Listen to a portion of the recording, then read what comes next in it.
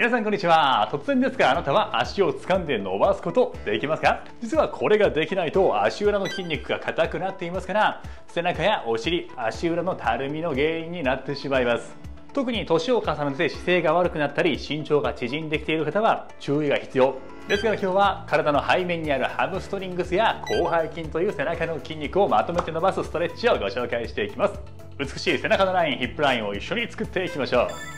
片方の膝を抱えてゆっくり足を伸ばしていきましょう太ももや膝裏全体のストレッチです。かかとを天井に向かって突き上げます。できるだけ膝は自分の方に抱えたままです。お尻の裏側ももの裏そしてふくらはぎあたりどこが一番伸びてますか伸び感をしっかり感じ取って反対側の足する時左右差がないか感じてみてください。苦手な方があったらそちらたくさんやっていきましょうね。歪みを整えて美脚を作っていきます。逆足をしっかりと抱え込んで足を伸ばしましょう。膝を伸ばしていく時太ももの裏側をしっかり伸ばす。伸びているところを感じ取って先ほどの足と比べてどうですか？伸び感違いはないですか？かかとを天井の方に向かって突き上げる。地面に伸ばした足もできるだけ。伸ばした状態膝が曲がってこないようにキープしてください。しっかりと膝を胸に近づけて。そうです。だいぶ伸びてきましたね。繰り返して繰り返してもう一息です。ねじりを加えていきましょう。できるだけ曲げた膝は地面につけた状態。胸をひねっていきましょう。脇腹のストレッチです。深く長い呼吸をしながら。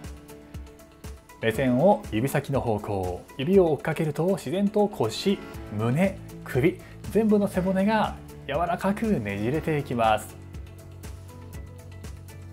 上半身のねじれ感。左右差がないかも感じ取っていきますから今の感覚覚えておいてくださいね。どこが伸びてきてますか？そうもう一息。反対側をねじりますがこれもどうでしょうか？左右差はないか確認をしていきましょう。それでは深くツイスト。目いっぱい体をねじって脇腹をストレッチ。深く長く吐いてゆっくり吸って。吐いて吸って呼吸と動きをつなげていきます。目線も遠くへ。しっかりと体をねじってください。左右差があったら苦手な方たくさんねじっていきますよ。歪みを整えて美しい姿勢を作りましょう。片方の膝を抱えていきます。股関節しっかりと柔らかくしていきますね。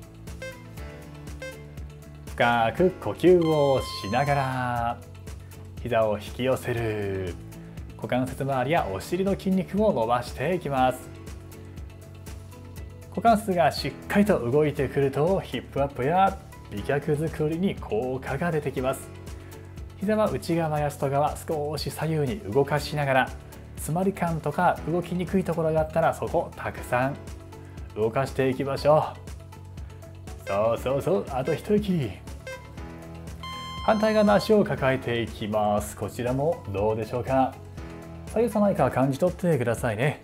しっかり足の付け根をストレッチしましょう。お尻が突っ張って足の付け根の前面にも詰まり感を感じるところを探してください。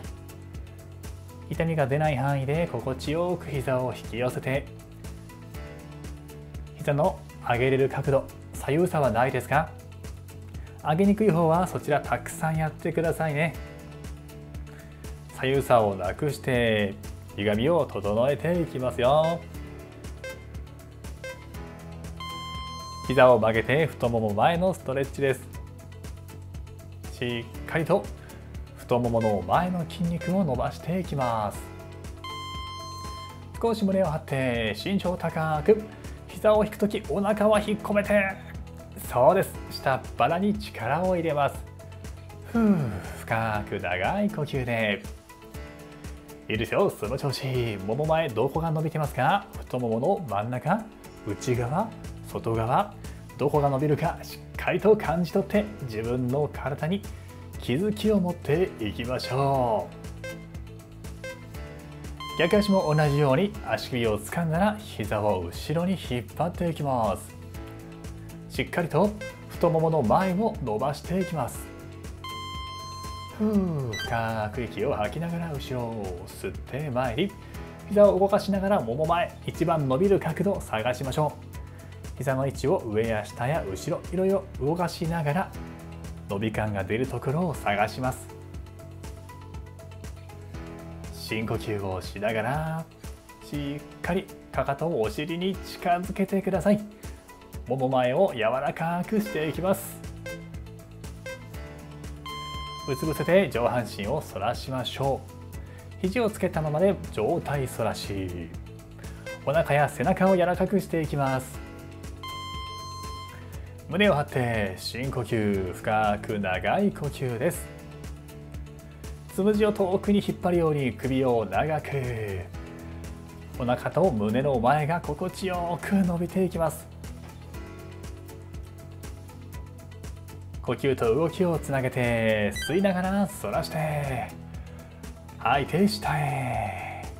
動きと呼吸がつながっていきますね。両手両足を持ち上げて万歳です。お尻背中肩甲骨背中全体を引き締めていきます。手足を上げますが腰が辛い人は無理をしないで。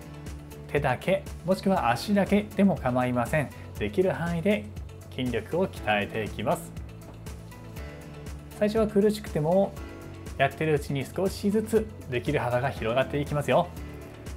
しっかりと今の現状を確認していきましょう。呼吸は止まってないですか？そうそうそう呼吸深めていきます。お尻をタッチしに行きます。上半身を起こして後ろに。お尻やももの裏側を触っていきましょう。肩甲骨や背中お尻のあたりにキュッと力が入っていきます。どうですか？今どこを触ることができますか？左右差がないかも確認していきましょう。しっかりねじりを加えて脇腹にもキュッとひねり感が出てきます。ねじりにくい方はそちらたくさんやってください。歪みを整えて綺麗な姿勢作っていきますよ。両方の膝を抱えて腰回りを伸ばしていきましょう。足の付け根やお尻を伸ばします。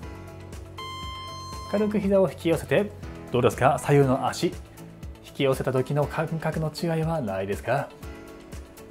寄せにくい方詰まり感を感じる方は股関節が硬くなってますからね。